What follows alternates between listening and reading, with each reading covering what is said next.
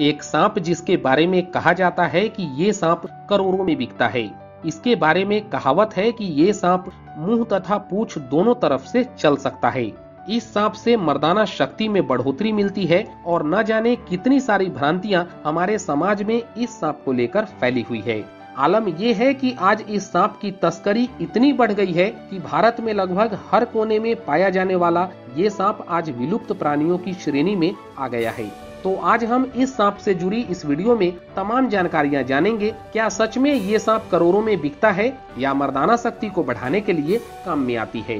तो इस सांप से जुड़ी पूरी इन्फॉर्मेशन पाने के लिए इस वीडियो को अंत तक ज़रूर देखें।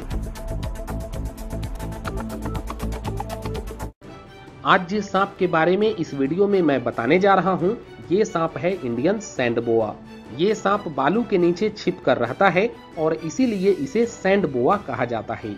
वैसे तो ये सांप दुनिया के कई देशों में पाया जाता है, जिसे अलग अलग नामों से, जैसे रेड सैंड बोआ या सैंड बोआ के नाम से जानते हैं। एनाकोंडा की तरह उसकी आँखें उसके सिर पर होती है और ये सांप बालू के नीचे छिपकर ऐसे रहता है जिससे उसका सिर ही सिर्फ़ बालू से बाहर होता है।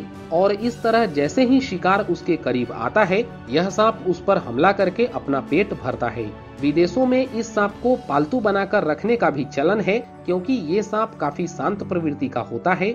इसके अंदर जहर बिल्कुल नहीं होती और ये काटता भी नहीं है। सांपों में अगर प्रजनन की बात की जाए तो ज़्यादातर सांप अंडे पैदा करती है, लेकिन सैंड बोआ में प्रजनन का माध्यम मादा द्वारा बच्चे को जन्म देना होता है। यानी कि ये सांप डायरेक्ट बच्चे को जन्म देती है और पैदा होते समय इसके बच्चे की लंबाई लगभग 8 इंच से 10 इंच तक होती है। यह सांप लगभग भारत के हर कोने में पाया जाता है। यह सांप दूसरे देशों में भी पाया जाता है, जैसे उत्तरी अमेरिका, प्रशांत सागर के तटवर्तीय क्षेत्रों में, यूरोप के कुछ देश, उत्तरी अफ्रीका और एशिया के कुछ हिस्से में ये सांप पाई जाती है। वैसे ज़्यादातर सैंड बोआ स्नेक चूहे, छिपकली, मेढक और छोटे खरगोश को अपना शिकार बनाती है। इसको लेकर ऐसी भ्रांतियाँ हैं कि यह कई सारे बीमारियों में भी असरदार होता है। इस सांप का इस्तेमाल कैंसर के इलाज से लेकर सेक्स पावर को बढ़ाने में किया जाता है। माना यह भी जाता है कि इरेक्टाइल डिस्फंक्शन यानी कि लिंग में उत्तेजना पैदा न होने की समस्या को दूर करने में यह काफ़ी कारगर होता है। इसके अलावा कई प्रकार के दवा और जोरों के दर्द की दवा बनाने में इसका इस्तेमाल होता है। वहीं मलेशिया में इससे जुड़ा एक अंधविश्वास भी है। लोग मानते हैं कि लाल बोआ स्नेक इंसान की किस्मत को चमका सकता है। इसके स्किन का इस्तेमाल कॉस्मेटिक से लेकर पर्स, हैंडबैग एवं जैकेट्स बनाने में भी किया जाता है। और इसीलिए इस सांप को करोड़ों में बेचने की अफवाह भी फैली हुई है।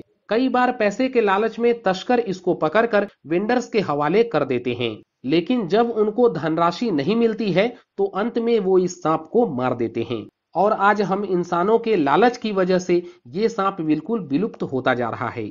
इस सांप को लेकर एक अफवाह और भी फैली हुई है कि ये सांप अपने मुँह तथा पूंछ दोनों तरफ़ से चलता है, लेकिन ऐसा नहीं है। ये भ्रांति इसीलिए फैली हुई है क्योंकि इंडियन सैंडबोआ स्नेक का मुँह तथा पूंछ दोनों तरफ़ से एक ही जैसा दिखता है और इसीलिए लोग समझते हैं कि ये दोनों तरफ़ से चलता है। लेकिन ये बिल्कुल अफवाह है, इसमें कोई सच्चाई नहीं है। और अगर ये सांप आपके आसपास में भी कहीं दिखाई दे तो इसको मारे बिल्कुल नहीं, क्योंकि ये सांप काफ़ी शांत प्रवृत्ति का होता है, काटता नहीं है। और इस सांप की तस्करी करना अपने आप में एक क्राइम है जो हम लोगों को नहीं करना चाहिए। हमें सांपों के साथ हर जीव जंतु पर दया करनी चाहिए, उसको संरक्षण करना चाहिए और प्रकृति के बनाए साइकिल का भी संरक्षण करना चाहिए। तो उम्मीद करता हूँ कि सैंड बोआ स्नेक के ऊपर इस वीडियो में बताई जानकारी आपको अच्छी लगी होगी। अगर हमारी ये वीडियो अच्छी लगी है तो इस वीडियो को लाइक करें, ज़्यादा से ज़्यादा लोगों तक शेयर करें, और हमारे चैनल पे नए हैं तो इस चैनल को सब्सक्राइब करें और बेल के आइकन पे भी प्रेस कर लें।